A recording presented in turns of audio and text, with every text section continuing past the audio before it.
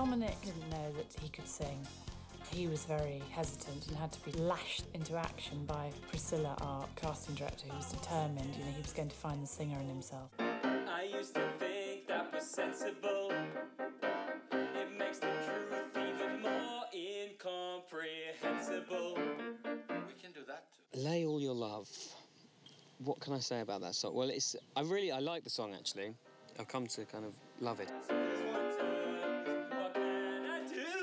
I don't know how I'll feel about it in three days' time after we've been filming it for three days. And all I've learned has overturned. What can I do? It's so out of tune. It sounds No, it's not. I, unbearable. no, I said today. I don't know. No, can we, we need to do that again. Is it higher? I should have No, because uh, we can use that from the existing stuff. I think I'm most proud of Dominic, of all of them who sang. Dominic worked so hard, and literally we went through Laoli Love line by line. All I've learned has overturned. What can I do? It's funny because you, what you're trying to do is you're trying to have a conversation. All I've learned has overturned. What can I do? You're not going to be able to kneel, are you, here? You are? Even in that... Should I take the coat?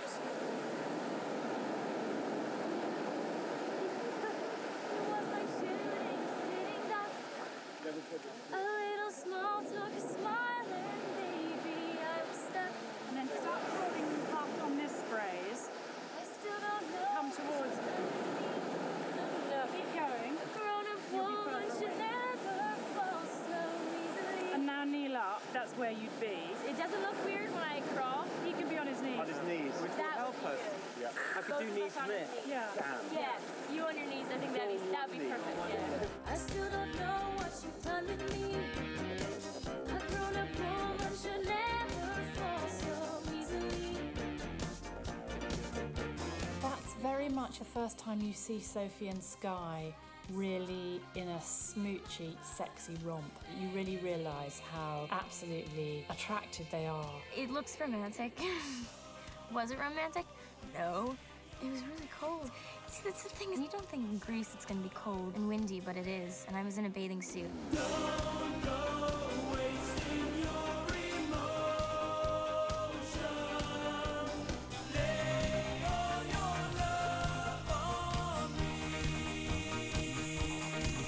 I mean, if it looks sexy, I don't know how that happened.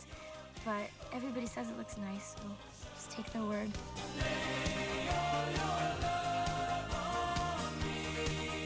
Sort of sun, sea, sound, and sex. When the stags ambush, you need to make clear to me that it's, it's a complete shock. They come absolutely out of nowhere. Where have they been? And where have they sprung from?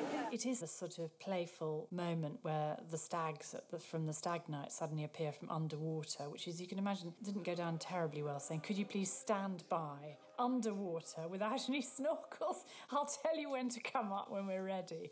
So we had to sort of send them under to hold their breath. So they've got to come out absolutely on cue. How do we communicate with you when you're underwater? But is it coming off their lyric Yeah. here? Yeah, they've got to come out of the water and sing on cue. When the music cue came, somebody was out of the water tickling somebody's toe, and a kind of message went down underwater, and then they popped up.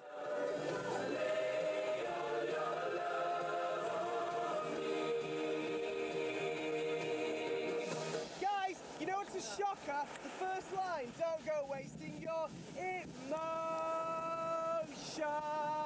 It's got to come off together on three. Just do the first line. Three, four. Don't go. Guys, and that's what I mean by an apathetic start.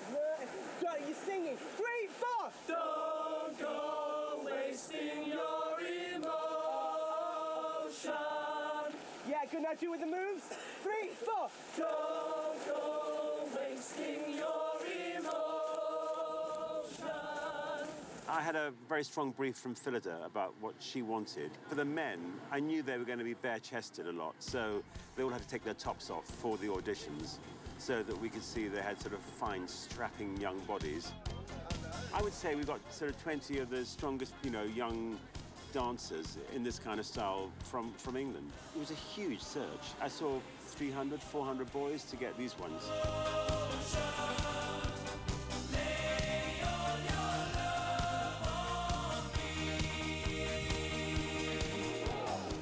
Originally, we were going to do it on the beach. We decided it would have been quite difficult on the beach. And so we got them on the jetty, and I'm so thrilled we're on the jetty because when you're filming it, it makes it so graphic.